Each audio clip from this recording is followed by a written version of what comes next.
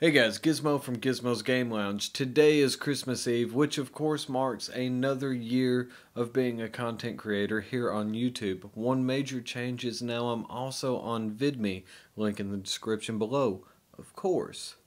Now, over the course of the last two years, I have learned some very important things, and I think today's video is pretty much just going to cover that. Here are the things I've learned after being on YouTube for two years. One of the first things I noticed is don't fear the jump cut. That's right, don't fear the jump cut. A lot of people have a very solid career based off using a jump cut instead of any other transition. I can't explain it, but it seems to grab people's attention and a lot of people are using it now. Branding is extremely important. The name you choose is going to carry you through for a very long time. I played World of Warcraft for 10 years straight, so it made sense that I was going to put up World of Warcraft content and Minecraft content with the occasional video game review here and there and a vlog every once in a while. That was the intent. Now, with that, it made a natural sense that if I'm going to be uploading World of Warcraft content, I should use my guild name and my character name as my name and the channel name. So we got Gizmo at Below Average Gamers channel. I didn't do enough research to know that there is a very large gaming channel already on YouTube called Below Average Gamers. Trying to compete with a similar name to a channel that's already established and has a lot of views, a lot of subscribers, and they're really good at search engine optimization, you're going to lose every time. And then eventually I just had to break down and change the name. That's where Gizmo's Game Lounge comes in today. So, to reiterate, do your research before you lock in on a name. Make sure you're not directly competing with someone else on their names. Another thing I've noticed on YouTube is that audio is more important than video. I know it sounds crazy, I know, but it's the simple truth. People will let you get away with a 360, a 480, or a 720 picture not everybody's using 4K yet. As a matter of fact, a lot of people don't have the capability to do 4K or even 1080i at this point. So, standard definition or mid grade high definition video is still fine, but the audio has to be good. It has to be crisp and it has to be clear. This is something, like I said, I still struggle with today, but I'm slowly getting better. But just remember, People will immediately click away if your audio is terrible. So invest in a good mic first and a good camera second.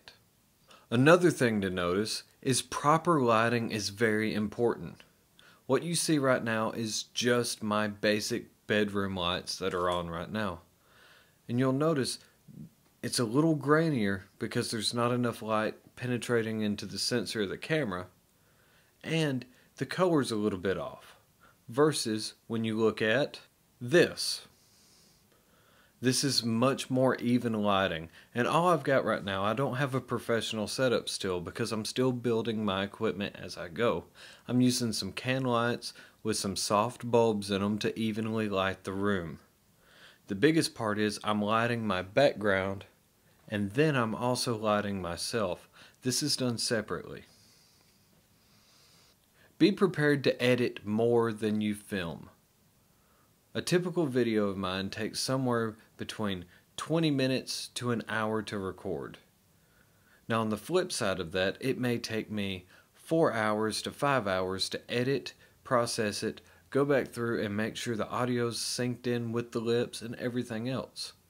It's a time staking process.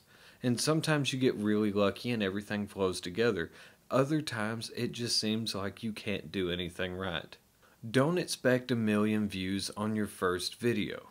I've been doing this for two years now, and something that I've really come to appreciate is a video I was watching by BdoubleO100. He was a Minecraft player for a very long time, and he still has a very successful Minecraft Let's Play. He once said, and I'm paraphrasing, that he went six months without a single view on his channel.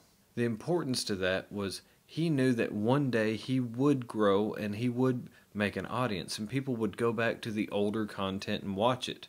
So even though he knew he was playing out to an audience of zero at the time, he acted as if he had a larger audience already.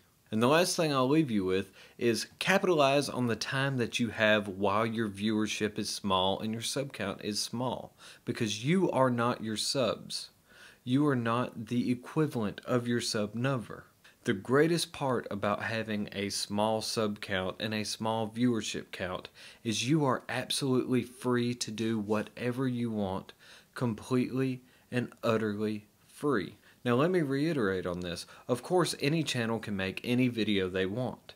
But if all you've ever done is drama videos and you decide to be a Let's Player, a small percentage of your fan base will watch a Let's Play from a drama channel. But a lot of the guys are just there to see a drama channel. And it's the flip of that. If you're a Let's Player and you decide that all you want to do now is YouTube drama, or you want to just do pranks, a lot of your viewership is going to go away. Use the time that you have while your viewership is small. If you want to try doing karaoke videos for a little while, do 5 10 karaoke videos. Who cares? If it doesn't work out, it doesn't work out. At least you tried it. And hey, you never know, it might pick up. Do some drawing tutorials. Do whatever you want to. And that's the beauty of having a small number and a small viewer base.